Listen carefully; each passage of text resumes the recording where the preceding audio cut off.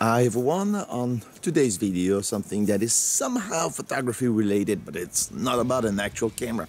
You see, my mom got me this.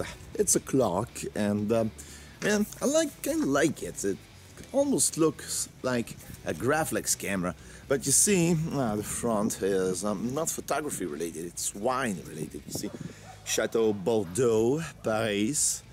Um, I, I, don't think they make wine in Paris, or maybe, might be wrong, but it's not photography related. But the cool thing about this is you can easily remove the front fascia and um, determining the size of the paper backing you need for the face of the clock.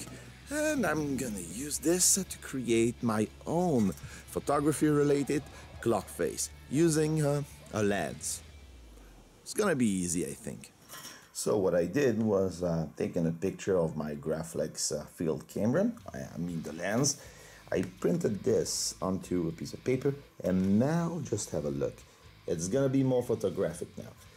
I'm gonna remove the ends and use uh, this uh, type of uh, marker pen to paint the ends white because um, a black ends onto this black background is not gonna look right. Let's go.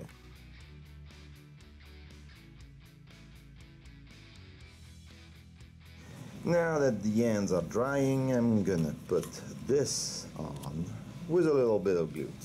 Okay. A dab of glue, a dab of glue. Everything's better with a dab of glue. With it, you don't need nails, you don't need screws, because everything's better with a dab of glue.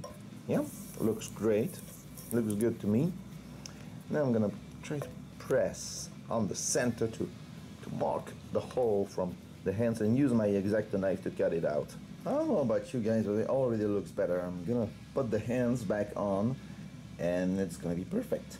Ah, there we are. And the hands are literally popping out from uh, this. If you install hands on a clock, always make sure that the hands are aligned by installing them back at midnight. I'm also gonna use a little, little dab of silicone to hold up the, the glass in front of the clock. And there we are. Now it looks photographically teamed now with this uh, Graflex, uh, Graflex lens on it. And kind of like it now. You just have to whack in a, a battery and it's ready to get on display. And um, that's it for today. Uh, as always, uh, thank you for watching this uh, off-topic video and um, I'll see you next time. Goodbye.